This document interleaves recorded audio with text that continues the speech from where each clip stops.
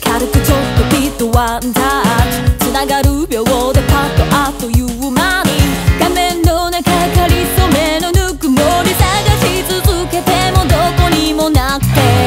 すぐそばにあることに目を向けたら気づけるはずきっともっと大事な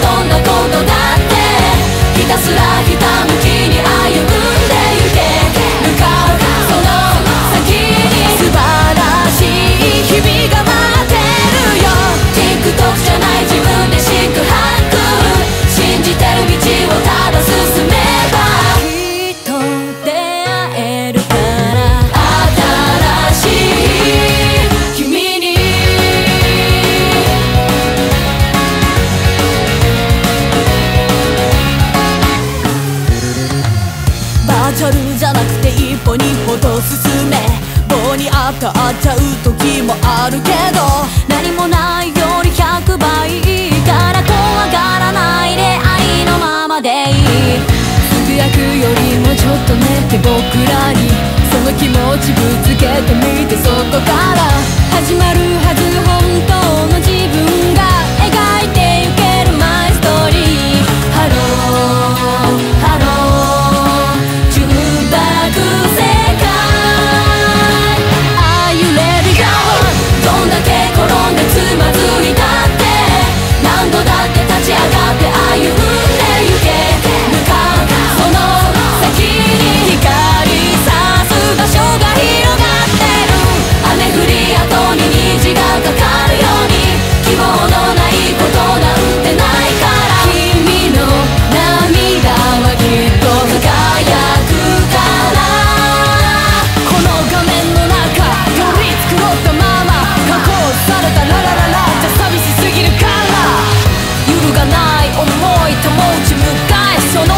がきっと本当の One Life